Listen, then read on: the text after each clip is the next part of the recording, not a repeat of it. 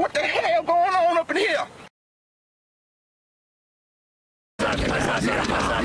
here?